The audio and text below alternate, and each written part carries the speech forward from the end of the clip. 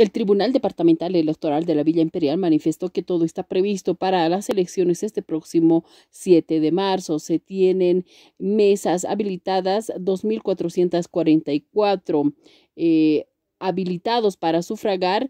Eh, 465.267 personas. Es una evaluación preliminar establecido de que tenemos un 95% del calendario electoral que prácticamente es ejecutado, nos resta el 5% que consiste en el armado de las maletas y la distribución de, los, de las maletas a todos los recintos o mesas que se instalen en el departamento de Potosí.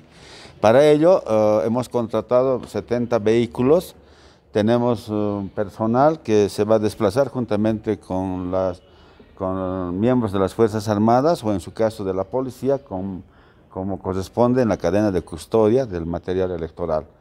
Tenemos previsto llegar a 2.444 mesas electorales. Tenemos previsto que más de 465.000 habitantes del departamento están habilitados para realizar el voto el día domingo 7 de marzo.